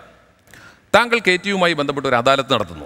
ഈ അദാലത്ത് തന്നെ ഇത്തരത്തിൽ സർവകലാശാലയുടെ ഓട്ടോണമിയിലേക്ക് കടന്നു കയറാനുള്ള ഭരണ നേതൃത്വത്തിന്റെ ഒരു പിൻവാതിലായിരുന്നു എന്ന് വിശ്വസിക്കുന്ന ഒരാളാണ്. വിശ്വസിക്കുന്നതല്ല ശരിയാണ്. അങ്ങനെ തന്നെയാണ്. അതെ. കോൺഗ്രസിന്റെ ആരോപണമായിരുന്നു അതെ. സമയത്ത്. അപ്പോൾ അങ്ങനെ താങ്കൾ ഒരു അദാലത്ത് നടത്തുന്നു. റീവാലുവേഷന് ഹാജരായ ഒരു കുട്ടി റീവാലുവേഷന് ചേഞ്ച് ഇല്ലാതിരിക്കെ. വീണ്ടും ഒരു ആപ്ലിക്കേഷനും അവിടുത്തെ പ്രിൻസിപ്പളിന്റെ ഒരു കത്തുമായി വരുന്നു. താങ്കൾ അടുത്തേക്ക് വരുന്നു. താങ്കൾ സർവകലാശാലകളുടെ പ്രോ ചാൻസലറാണ് പ്രോ ചാൻസലറെ സംബന്ധിച്ച് എല്ലാ സർവകലാശാലയുടെ ആക്ടിൽ പറഞ്ഞിട്ടുള്ളത് in the absence of the chancellor pro chancellor can exercise the powers of the chancellor എന്നാണ്. അവിടെ വെച്ച് താങ്കൾ ഒരു തീരുമാനമെടുക്കുന്നു. ഇതിനെ റീവാലുവേഷൻ വീണ്ടും ഒരു വാലുവേഷൻ നടത്താൻ തീരുമാനിക്കുന്നു. താങ്കൾ ആരെയൊക്കെ ചുമതലപ്പെടുത്തുന്നു? അങ്ങനെ വാലുവേഷനിലൂടെ ആ കുട്ടി പാസ്സാകുന്നു അപ്പോൾ അവിടെ രണ്ട് മൂന്ന് പ്രശ്നങ്ങളുണ്ട്. ഒന്ന് ഇത് നിയമവിരുദ്ധമാണ്. സർവകലാശാലയുടെ റൂൾസിനും റെഗുലേഷനും വിരുദ്ധമാണ്. താങ്കൾക്ക് അധ്യാപകൻ എന്ന നിലയിൽ നല്ല ബോധ്യമുണ്ട്. രണ്ടാമത് അവിടെ ആ കുട്ടിയുടെ സീക്രസി നഷ്ടപ്പെടുകയാണ്. ഒരു കുട്ടിക്ക് മാത്രമായിട്ടാണ് വാല്യുവേഷൻ മൂന്ന് അതൊരു ഓപ്പൺ ഫോറത്തിൽ തന്നെ അത് എക്സ്പ്ലെയിൻ ചെയ്യപ്പെടുമ്പോൾ അഥവാ താങ്കളുടെ ഡിസിഷൻ വരുന്നു കഴിയുമ്പോൾ ആ കുട്ടി സ്വാഭാവികമായിട്ടും താങ്കൾ ഇങ്ങനെ പറയുമ്പോൾ ആ കുട്ടി പാസ്സാകുന്നുള്ള കാര്യത്തിൽ ഞങ്ങൾക്ക് തുടക്കത്തിൽ തർക്കമില്ല. ആ കുട്ടി പാസ്സാകുന്നു അത് താങ്കളുടെ സർവകലാശാലയിലുള്ള കടന്നുകയറ്റത്തിന്റെ ഒരു ഉദാഹരണമായി ഞാൻ പറഞ്ഞാൽ താങ്കൾക്ക് നിഷേധിക്കാൻ കഴിയും. ആ സംഭവം എന്താണ് എന്ന് ഞാനും വിശദീകരിക്കാം. ഇപ്പം നിങ്ങളല്ലേ പറഞ്ഞുള്ളൂ.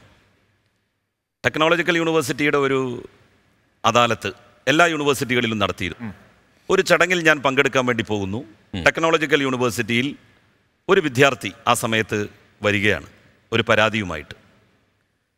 എല്ലാ പേപ്പറുകളിലും തൊണ്ണൂറ് ശതമാനത്തിലധികം മാർക്കുണ്ട് ആ കുട്ടിക്ക്. എന്നിട്ട് ആ കുട്ടി വന്നിരുന്ന് പറയുകയാണ് ഒരു പേപ്പറിൽ ഞാൻ തോറ്റിട്ടുണ്ട്. ഇപ്പോൾ ആൻസർ ഷീറ്റ് പൈസ കൊടുത്താൽ കിട്ടുമല്ലോ നമ്മൾ പണമടച്ചാൽ അതിന്റെ കോപ്പി കിട്ടും. ആ കോപ്പിയുമായിട്ടാണ് ആ കുട്ടി വന്നത്. എന്നിട്ട് ആ കുട്ടി പറഞ്ഞത് ഈ ആൻസർ ഷീറ്റ് ആര് നോക്കിയാലും ഏതൊരാൾ നോക്കിയാലും എനിക്ക് പാസ് മാർക്ക് കിട്ടും. അപ്പം ഞാൻ ആ ആൻസർ ഷീറ്റ് വാങ്ങി ബന്ധപ്പെട്ട വൈസ് ചാൻസലർക്ക് കൈമാറി.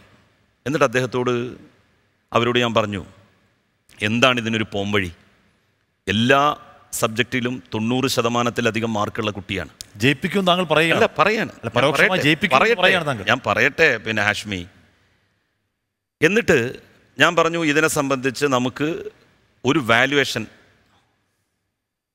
നടത്തുന്നതിനെ സംബന്ധിച്ച് നിങ്ങൾക്ക് പറ്റുമോ ഇല്ലയോ എന്നുള്ള കാര്യം നിങ്ങൾ ആലോചിക്കണം. അതിനു വേണ്ടി എക്സ്പേർട്സ് ആയിട്ടുള്ള മൂന്ന് അധ്യാപകന്മാരുടെ ഒരു കമ്മിറ്റി കോൺസ്റ്റിറ്റ്യൂട്ട് ചെയ്തിട്ട് ആ പേപ്പർ വാല്യൂ ചെയ്യണം എന്നുള്ള നിലയ്ക്ക് നിങ്ങൾ തന്നെ അത് നിക്ക്.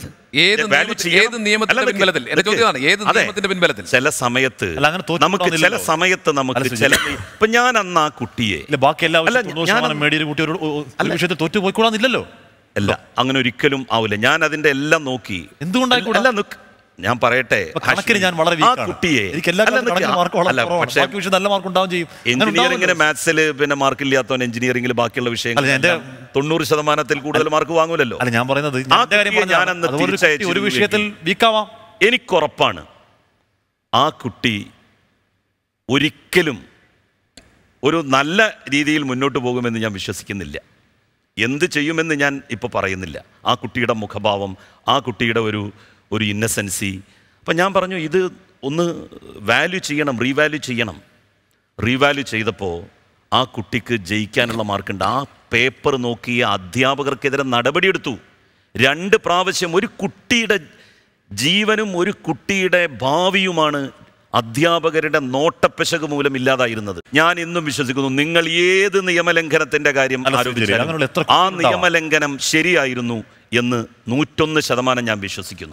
ഒരു അധ്യാപകൻ എന്നുള്ള നിലയിൽ പ്രോ ചാൻസലർ എന്നുള്ള നിലയിൽ ഞാൻ അന്ന് അത് ചെയ്തില്ലായിരുന്നുവെങ്കിൽ ഒരുപക്ഷെ ആ കുട്ടി ഈ ഭൂമിയിൽ നിന്ന് ജീവിച്ചിരിപ്പുണ്ടാകുമായിരുന്നു അല്ല ശ്രീജിൽ അങ്ങനെ എത്ര കുട്ടികൾ ഉണ്ടാകുമെന്നേ? എല്ലാവരും അല്ലല്ല. ഒരു കുട്ടിയുടെ കാര്യമല്ലേ നമ്മളുടെ അടുത്ത് വന്നത്? ഞാൻ. തൊണ്ണൂറ് ശതമാനം മാർക്കിൽ കൂടുതൽ എല്ലാ പേപ്പറുകളിലും സാറുണ്ട്. ഒരു പേപ്പറിൽ അധ്യാപകരുടെ നോട്ടപ്പിശക് മൂലം ഒരു കുട്ടിയുടെ ഭാവിയും ഒരു കുട്ടിയുടെ ജീവിതവും അറിയപ്പെടുമ്പോ എറിയപ്പെടുമ്പോ മന്ത്രി എന്നുള്ള നിലയിൽ ഞാൻ പിന്നെ നോക്കി നിൽക്കണമെന്നാണോ പറയുന്നത്. നിങ്ങൾ എന്ത് അല്ല എന്നിട്ട് നിങ്ങൾ പരാതി കൊടുത്തല്ലോ ചാൻസലർക്ക്. ചാൻസലർ എല്ലാവരെയും കേട്ടു.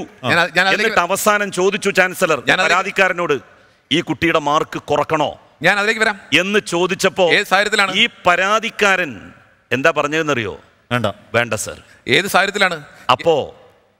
മനുഷ്യത്വം എന്ന് പറയുന്ന ഒന്ന് ഇല്ല ജയിച്ച കുട്ടി ഏറ്റവും തോപ്പിക്കാൻ പറയോ? ചുരുങ്ങിയ അളവിലെങ്കിലും ഇവരിലും ഉണ്ട് എന്നുള്ളതിന്റെ തെളിവല്ലേ അത്? അല്ല ജയിച്ച കുട്ടി തോപ്പിക്കാൻ പറയാതെ ആ കാര്യത്തിൽ ഞാൻ എന്റെ നിലപാട് നൂറ്റൊന്ന് ശതമാനം ശരിയെന്ന് അതിന്റെ പേരിൽ തൂക്കിക്കൊല്ലേണ്ടി വന്നാലും തൂക്കിലേറ്റപ്പെടാൻ അന്ന് ഇതിൽ അന്നേ പറഞ്ഞാണ്. ഈ നിയമലംഘനം നിയമലംഘനമാണ്. നിയമലംഘനമാണ്. എന്ന് ജലീൽ അന്നേ പറഞ്ഞാണ്. അതിന്റെ ഭാഗം പറയട്ടെ. ഞാൻ അതിനകത്ത് താങ്കൾക്ക് താങ്കളുടെ എടുക്കുന്ന തീരുമാനങ്ങൾ ന്യായീകരിക്കാൻ വേണ്ടി. താങ്കൾ ആരെയും കൂട്ടുപിടിക്കും. അത് നമ്മളിപ്പോൾ ചർച്ചയിൽ ആദ്യം മുതൽ കാണുന്നതാണ്. അത് ഗാന്ധിജി വേണേൽ ഗാന്ധിജി പിടിക്കും. എ കെ ജി വേണേൽ എ കെ ജി പിടിക്കും. അത് താങ്കളുടെ അതായത് വിശ്വാസത്തിന്റെ കാര്യത്തിൽ വരുമ്പോൾ ഗാന്ധിജി ആകാം. അല്ലാത്തപ്പോൾ എ കെ ജി ആകാം. അല്ലെങ്കിൽ താങ്കൾക്ക് അങ്ങനെ അഭിപ്രായം ഇല്ലേ? അല്ല ഞാൻ പറയട്ടെ.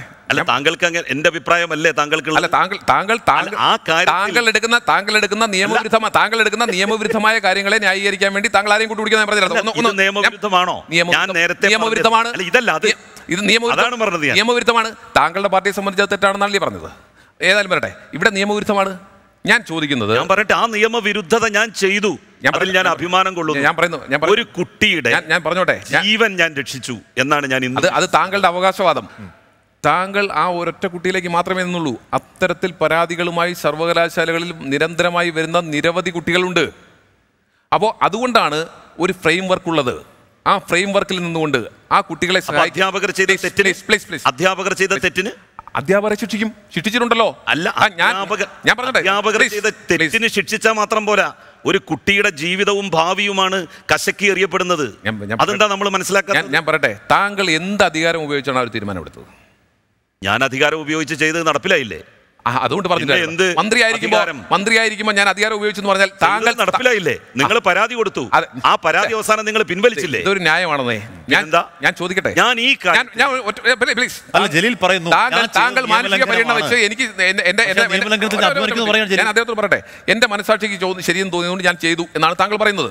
എനിക്ക് മനസ്സാക്ഷി ഞാൻ ചോദിച്ചത് ഒരു മന്ത്രി എന്ന നിലയിൽ ഏ, ഒരു പക്ഷേ ഞാൻ ചെയ്തെന്നിരിക്കാം. പക്ഷേ ഞാൻ ചോദിക്കുന്നത് ഒരു മന്ത്രി എന്ന നിലയിൽ ചെയ്യാൻ പാടുണ്ടോ? താങ്കൾ ചെയ്യാൻ പാടുണ്ടോ? ഒന്ന് ഒന്ന് ഞാൻ തീർത്തോട്ടെ ഒരു മന്ത്രി എന്ന നിലയിൽ താങ്കൾ അങ്ങനെ ചെയ്യാൻ പാടുണ്ടായിരുന്നോ? ഒരു സർവകലാശാലയിൽ ഒരു വൈസ് ചാൻസലറോട് താങ്കൾക്ക് ആ പേപ്പർ ഒന്നുകൂടി വാല്യൂ ചെയ്യണമെന്ന് പറയാൻ ഏത് നിയമത്തിൽ ഏത് ക്ലോസ് അനുസരിച്ചാണ് താങ്കൾ ഇടപെട്ടത്? താങ്കൾ പറയും മനസ്സാക്ഷി അനുസരിച്ചാണെന്ന് പറയാം. പക്ഷേ ഞാൻ ചോദിക്കുന്നത് ഏത് നിയമത്തിൽ? അപ്പോൾ അത് ഓട്ടോണമിയിലേക്കുള്ള കടന്നുകയറ്റമാണ്. ഒന്ന്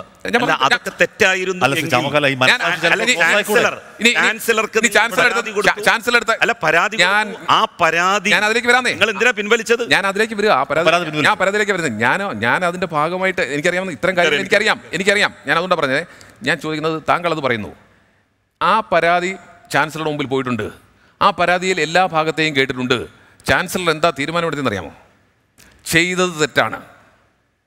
ആ കുട്ടിക്ക് അങ്ങനെ ഒരു ഫേവർ കിട്ടിയിട്ട് ഇനി അത് വിഡ്രോ ചെയ്യുന്ന കാര്യത്തിൽ പുനർവിചിന്തനം നടത്തണം. കിട്ടിയിട്ട്. ആ കുട്ടിക്ക് ഇല്ലീഗലായി ഒരു ഫേവർ കിട്ടിയിട്ട് ആ ഫേവർ വിഡ്രോ ചെയ്യുന്നതിനെ സംബന്ധിച്ച് എന്താണ് അഭിപ്രായം എന്ന് ചോദിച്ചപ്പോൾ കുട്ടിയെ പണിഷ് ചെയ്യണമെന്നും പറയുന്നില്ല. പക്ഷേ ചെയ്തയാൾ ചെയ്ത് തെറ്റാണ്. ആരാണ്? മന്ത്രി എന്ന നിലയിൽ പുള്ളി ചെയ്ത് തെറ്റാണെന്നാണ് ആ പരാതിക്കാരൻ അവിടെയും വാദിച്ചിട്ടുള്ളത്.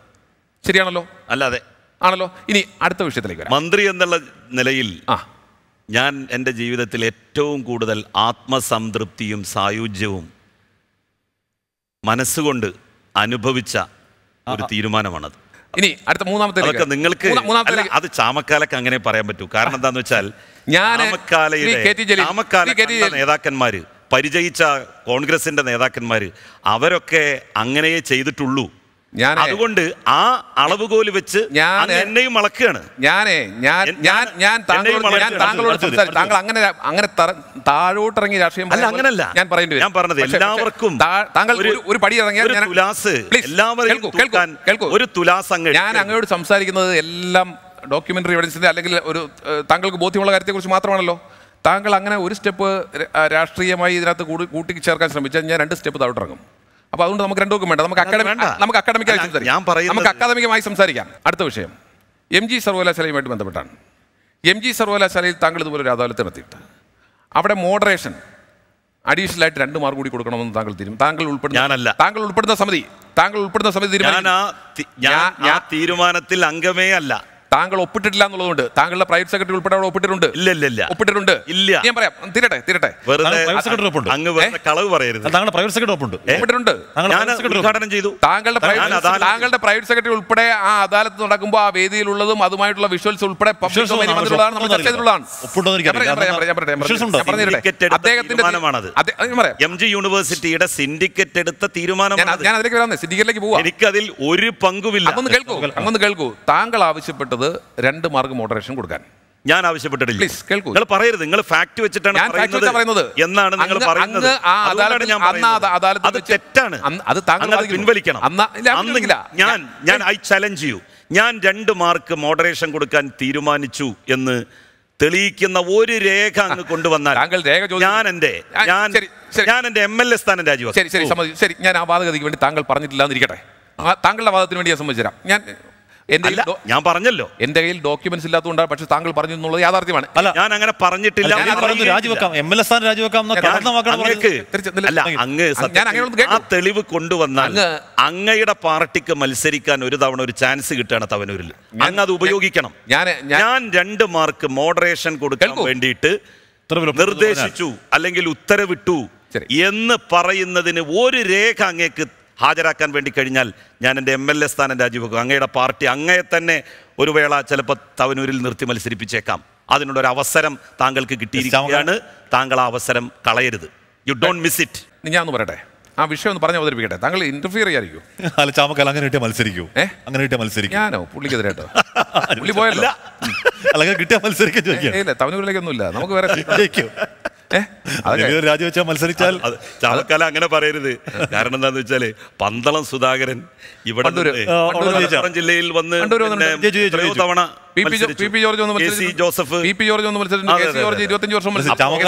അപ്പൊ തവനൂരിൽ ചാമക്കാലക്ക് ഒരു സാധ്യത ഉള്ളത് വെറുതെ ആഞ്ഞു പിടിച്ചാൽ രേഖ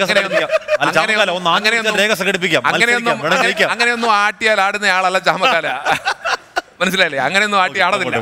Anyway. Welcome to the point. അപ്പോൾ അവിടെ സിൻഡിക്കേറ്റ് ഒരു തീരുമാനമെടുത്തു അഞ്ച് മാർക്ക് കൊടുക്കാൻ. താങ്കൾ രണ്ട് പറഞ്ഞു സിൻഡിക്കേറ്റ് അഞ്ചാക്കി. അത് കുറച്ച് പേരോടെ താങ്കൾ പറഞ്ഞ പറയട്ടെ എന്റെ ഞാൻ ഞാനിത് ഇത്. പബ്ലിക് ഡൊമൈനിലുള്ള ഒരു ഡിബേറ്റ് ആണെന്നേ പബ്ലിക് ഡൊമൈനിൽ ഉള്ള ഡിബേറ്റ് ആണ്. ആങ്കർ ചെയ്യുമ്പോൾ ഹാഷ്മി ആങ്കർ ചെയ്തിട്ടുണ്ട്. ഞാൻ അതിലെ. പാനലിസ്റ്റ് ആയിട്ട് പോയിട്ടുണ്ട്. പച്ച കള്ളമാണ് അല്ല അത് താങ്കളുടെ അവകാശമാണ് ആ- ദൃശ്യങ്ങളുണ്ട്. ആ- ദിവസം ഞാൻ വരാം ഞാൻ വരാം. അതിലേക്ക് വരാം. ഇനി ഞാൻ ഈ അക്കാദമിക് സമൂഹത്ത് ഇച്ചിരി നന്നായി പോകണം എന്ന് ആഗ്രഹിക്കുന്ന ഒരാളാണ് തുടക്കം മുതൽ ഞാനൊരു പത്ത് വർഷത്തോളം എട്ട് വർഷം സെന്റ് സിൻഡിക്കേറ്റിൽ ഇരുന്നിട്ടുള്ള ആളാണ് അപ്പോൾ ഞാൻ പറഞ്ഞു വന്നത് അവിടെ അഞ്ച് മാർക്ക് കൊടുക്കാൻ തീരുമാനിക്കുന്നു. ഈ അഞ്ച് മാർക്ക് കൊടുക്കാൻ തീരുമാനിച്ചതിനെ ചലഞ്ച് ചെയ്യുന്നു. അതിന്റെ ആനുകൂല്യം കിട്ടിയത് നൂറ്റി ഇരുപതിനും നൂറ്റി മുപ്പതിനും ഇടയ്ക്ക് കുട്ടികൾക്കാണ്. ഇത്രയും നൂറ്റി ഇരുപത്തിയിലധികം കുട്ടികൾക്ക് ഇല്ലീഗലായി ഇത്തരത്തിൽ മാർക്ക് കൊടുത്ത് അവർക്ക് സർട്ടിഫിക്കറ്റ് എന്ന് പറയുമ്പോൾ വ്യാജ സർട്ടിഫിക്കറ്റ് കൊടുത്തിട്ട് അവരെ പാസ്സാക്കിയ വിഷയത്തിൽ താങ്കൾ മന്ത്രിയായിരിക്കെ ആ വിഷയം ആരാണോ അതിൽ ഫൈനൽ തീരുമാനമെടുക്കേണ്ടത് അഥവാ ഇല്ലീഗലാണെന്ന് അറിഞ്ഞിട്ട് അത് വിഡ്രോ ചെയ്യേണ്ടത്? ആ ഫോറത്തിന്റെ മുമ്പിലേക്ക് പോകാതെ കോടതിയിൽ കേസ് വരുമ്പോൾ ഞങ്ങൾ പിൻവലിച്ചു എന്ന് പറഞ്ഞുകൊണ്ട് സിൻഡിക്കേറ്റ് തന്നെ അത് പിൻവലിക്കുകയാണ്. സിൻഡിക്കേറ്റിന് അങ്ങനെ തീരുമാനമെടുക്കാൻ അവകാശമില്ല എന്ന് അറിഞ്ഞുകൊണ്ടും അങ്ങനെ ഒരു തീരുമാനമെടുക്കുന്നു. ഈ കുട്ടികൾ കോടതിയിൽ പോകുന്നു. ഇപ്പോഴും ആ നൂറ് നൂറ്റി ഇരുപതിന് പേരിൽ നൂറ്റി മുപ്പതിനകത്തുള്ള കുട്ടികൾ നിയമവിരുദ്ധമായി ഡിഗ്രി വെച്ച് പലയിടത്തും പോയി ജോലി സമ്പാദിച്ചിട്ടുണ്ട്. ഇത് ഉന്നത വിദ്യാഭ്യാസ മേലയ്ക്ക് ഭൂഷണമായിരുന്നോ എന്നുള്ളത് കൂടി താങ്കൾ പറയണം. അത് എല്ലാ സിൻഡിക്കറ്റുകളും യൂണിവേഴ്സിറ്റികളും അങ്ങനെ രണ്ട് മാർക്കോ അല്ലെങ്കിൽ അഞ്ച് മാർക്കോ കൊടുത്ത് സിൻഡിക്കറ്റുകളുടെ തീരുമാനമനുസരിച്ച് ചെയ്യുന്ന കാര്യമാണ്. അതിൽ മന്ത്രിക്ക് ഒരു റോളും ഇല്ല. ഞാൻ ഇപ്പോഴും ചലഞ്ച് ചെയ്യുന്നു ആ കാര്യത്തിൽ എന്റെ എന്തെങ്കിലും തരത്തിലുള്ള ഒരു ഇൻവോൾവ്മെന്റ് അങ്ങേക്ക് തെളിയിക്കാൻ പറ്റിയാൽ രണ്ട് കാര്യം ഞാൻ എന്റെ എം എൽ എ സ്ഥാനം രാജിവെക്കും. മോഡറേഷൻ കൊടുക്കുന്നത് എപ്പോഴാണ് അത് ആരാ തീരുമാനിക്കേണ്ടത്? അക്കാദമിക് സമൂഹമാണ്. ഞാൻ പറഞ്ഞു ഞാൻ പറഞ്ഞു തന്നോട്ടെ പ്ലീസ് അങ്ങ് അതിലും അതിലൂടെ തർക്കിക്കരുത് പ്ലീസ് അങ്ങനെ ഞാൻ എനിക്ക് അതിലൊരു ഇൻവോൾവ്മെന്റ് ഇല്ല. ഞാൻ പറഞ്ഞു വരട്ടെ. അപ്പോൾ അവിടെ ബോർഡ് ഓഫ് സ്റ്റഡീസ് തീരുമാനിക്കേണ്ട കാര്യങ്ങൾ. സിൻഡിക്കേറ്റിലെ നോൺ അക്കാഡമീഷ്യൻസ് ആയിട്ടുള്ള അംഗങ്ങൾ ഉൾപ്പെടെ ഇരുന്നുകൊണ്ട് ഏത് മാനദണ്ഡം ഉപയോഗിച്ച് തീരുമാനിക്കുന്നു? ഏകപക്ഷീയമായി തീരുമാനിച്ചാണ് അത് തെറ്റാണ്. ഇനിയിപ്പോൾ നമ്മൾ കൂടുതൽ ചർച്ച ചെയ്തിട്ട് കാര്യമില്ല. ഇനി ഒന്നുകൂടെ. മറ്റൊന്ന് താങ്കൾ ഈ ഞാൻ തന്നെ താങ്കളെ വിളിച്ചിട്ടുണ്ട്. താങ്കൾ മന്ത്രിയായിരിക്കുമ്പോൾ താങ്കളുടെ പേഴ്സണൽ സ്റ്റാഫ് ഈ പരീക്ഷയുടെ വാല്യുവേഷൻ നടക്കും. വാല്യുവേഷൻ ക്യാമ്പുകളിലേക്ക് താങ്കളുടെ പേഴ്സണൽ സ്റ്റാഫ് നേരിട്ട് പോയി അവിടെ പരീക്ഷ പരീക്ഷയുടെ വാല്യുവേഷനുമായി ബന്ധപ്പെട്ട കാര്യങ്ങൾ നേരിട്ട് ഇടപെടുന്നതിന് ഞാൻ സാക്ഷിയാണ്. ഞാൻ അങ്ങേ വിളിച്ചു പറഞ്ഞു? ഞാൻ അങ്ങേ വിളിച്ചു അങ്ങേക്ക് ഓർമ്മയുണ്ടെന്നാണ് എന്റെ വിശ്വാസം. ഞാൻ ഫോണിൽ വിളിച്ചു. ആദ്യം ഗൺമാൻ എടുത്തു. താങ്കൾ മറ്റൊന്ന് മീറ്റിംഗിലാന്ന് പറഞ്ഞു. പിന്നീട് ലാൻഡ് ലൈനിൽ വിളിക്കാൻ പറഞ്ഞു. ഞാൻ വിളിച്ചു അങ്ങുമായി സംസാരിച്ചു. അവിടെ മന്ത്രിയുടെ പേഴ്സണൽ സ്റ്റാഫിന് എന്താണ് കാര്യം? താങ്കൾ അന്ന് എന്നോട് പറഞ്ഞത് പരീക്ഷ റിസൾട്ടുകൾ വേഗത്തിലാക്കാനാണെന്നാണ്. പരീക്ഷാ റിസൾട്ടുകൾ വേഗത്തിലാക്കാനുള്ള സർവകലാശാലയുടെ കാര്യങ്ങളിലേക്ക് മന്ത്രിയുടെ പ്രൈവറ്റ് സെക്രട്ടറിക്കും അഡീഷണൽ പ്രൈവറ്റ് സെക്രട്ടറിക്കും എന്താണ് കാര്യം? ഒരിടപെടലും നടത്തിയിട്ടില്ല. അങ്ങനെ സ്റ്റാഫുകൾ വല്ലതും ചെയ്തിട്ടുണ്ടെങ്കിൽ അത് തെറ്റ് തന്നെയാണ് യാതൊരു സംശയവുമില്ല. പക്ഷേ അതിന്റെ പേരിൽ ആരും ശിക്ഷിക്കപ്പെട്ടതായിട്ട് അറിവില്ല. അതൊന്നും ഞാൻ പറഞ്ഞില്ല. ഞാൻ പറഞ്ഞില്ല. അങ്ങനൊന്നും ഞാൻ പറഞ്ഞില്ല. പരീക്ഷാ നടത്തിപ്പിൽ പരീക്ഷയുടെ വാല്യുവേഷൻ ക്യാമ്പിലേക്ക് മന്ത്രിയുടെ പേഴ്സണൽ സ്റ്റാഫ് പോയത് തെറ്റാണെന്നേ. അത് അത് ഞാൻ പറയുന്നു അത് അതിലെന്താ സംശയം? അതിന് ഞാനെന്താ ഉത്തരവാദി? അങ്ങയുടെ ഒരു- മന്ത്രിയുടെ- ഒരു- മന്ത്രിയുടെ പേഴ്സണൽ സ്റ്റാഫിനെ നിയന്ത്രിക്കേണ്ടതും എവിടെയൊക്കെ പോകാമെന്നും എങ്ങനെ. പോകാമെന്നും മന്ത്രിയാണ് തീരുമാനിക്കേണ്ടത്. മന്ത്രിയുടെ പേഴ്സണൽ സ്റ്റാഫ് അത് ഉന്നത വിദ്യാഭ്യാസ വകുപ്പ് മന്ത്രിയുടെ പേഴ്സണൽ സ്റ്റാഫ് വാല്യുവേഷൻ ക്യാമ്പിൽ നിയമവിരുദ്ധമായി കടന്നുപോയിട്ട് ഞാൻ എന്ത് ചെയ്യാനാ? എനിക്ക് എന്ത് ചെയ്യാൻ പറ്റുമെന്ന് താങ്കൾ അദ്ദേഹം ഒരു കോളേജ് അധ്യാപകനാണ്. ഒരു ഒരു ഒരു എന്ന് പറയുന്ന ആൾ അദ്ദേഹം ഏത് കോളേജ് കോളേജിന്റെ T K M engineering college okay okay. അദ്ദേഹം പോയ എവിടെ? ഏത് ക്യാമ്പിലാണെന്ന് അറിയാമോ ഏത് ക്യാമ്പിൽ? കേരള സർവകലാശാല ക്യാമ്പിൽ. കേരള സർവകലാശാലയിൽ എഞ്ചിനീയറിംഗ് കോളേജുമായിട്ട് ഒരു ബന്ധവും ഇല്ലാത്ത സ്ഥലത്താണ് അദ്ദേഹം താങ്കളുടെ പ്രൈവറ്റ് സെക്രട്ടറി എന്ന പദവി ഉപയോഗിച്ചുകൊണ്ട് പോയിട്ടുള്ളത്. ഏതായാലും മാർക്ക് കൊടുത്ത് ആളുകളെ പാസ്സാക്കാൻ വേണ്ടിയിട്ടല്ല.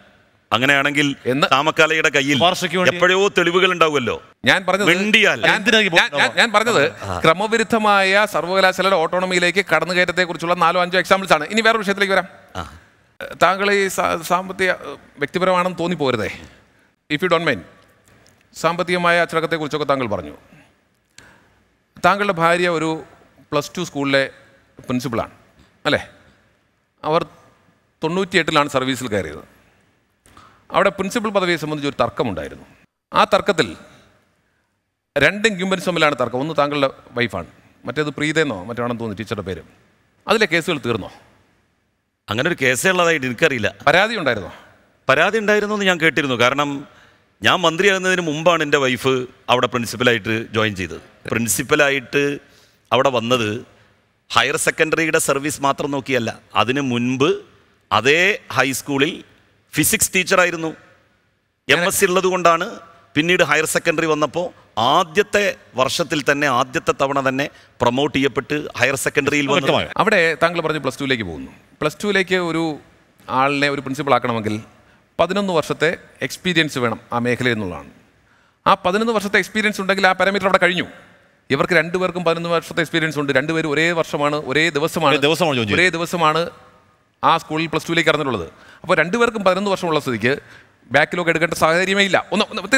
അതൊക്കെ അല്ല ഞാൻ. സംബന്ധമായിട്ടുള്ള കാര്യങ്ങൾ ഞാൻ പറഞ്ഞത് സർവീസ് നിലയ്ക്ക് ചലഞ്ച് ചെയ്യപ്പോ ചാമക്കാലക്ക് അങ്ങനെ പരാതി ഉണ്ടെങ്കിൽ ഇപ്പോഴും കൊടുക്കാമല്ലോ പരാതി?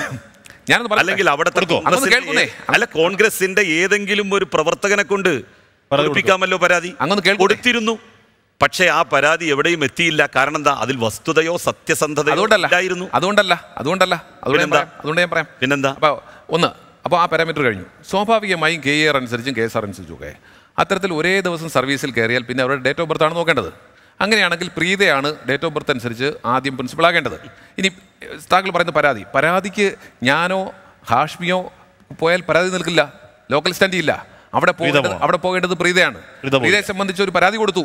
അതിനപ്പുറത്തേക്ക് അവർ കോടതിയിൽ പോകാൻ തയ്യാറാകുന്നില്ല. അത് അങ്ങയിലുള്ള അങ്ങയുടെ ഭരണത്തിലുള്ള സ്വാധീനം കൊണ്ടും അങ്ങേക്കുള്ള അങ്ങനെയുള്ള രാഷ്ട്രീയ നേതാവിലുള്ള സ്വാധീനവും കൊണ്ടും പേടിച്ചിട്ടാണ് എന്ന് ഞാൻ പറഞ്ഞാൽ അങ്ങ് നിഷേധിക്കും ഒരിക്കലും അല്ല. ജീവിതത്തിൽ ഇന്ന് വരെ ഞാൻ ഇപ്പോഴും അങ്ങനെ ഒരാളെയും ഞാൻ ഇപ്പോഴും പറയുന്നു. നിങ്ങൾ ഞാൻ അവിടെയും ഞാൻ നിങ്ങളെ ചലഞ്ച് ചെയ്യുന്നു.